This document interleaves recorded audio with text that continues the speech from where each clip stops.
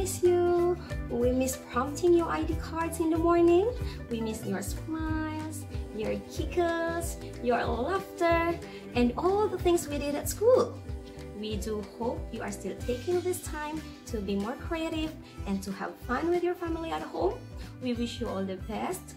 Be healthy, be fit, take care everybody because we love you. Hi Binusians, this is Miss Janice and I would like to tell everybody that your teachers miss you so much.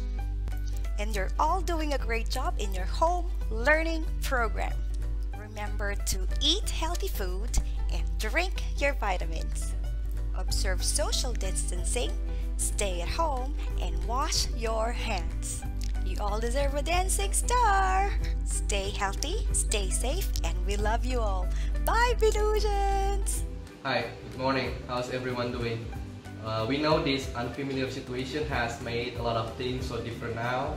However, we hope everyone still keep their positive thoughts, their spirit high, and stay healthy even we can have our home learning program runs well, but things feel so distant.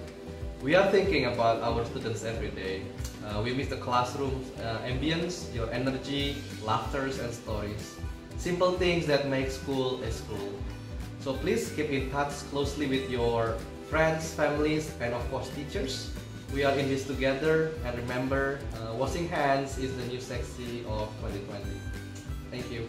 Hi everyone, hope that you have a wonderful time to study from home despite our current situations. I know that this is really hard, but at least we can learn something from these situations.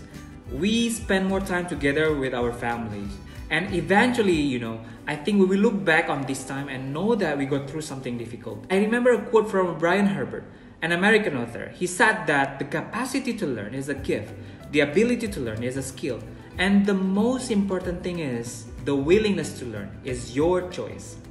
Have a good one, everyone. Hi, guys. How I long for you. I hope that we will meet again soon. Stay safe and sound, stay healthy, and stay at home. Bye-bye.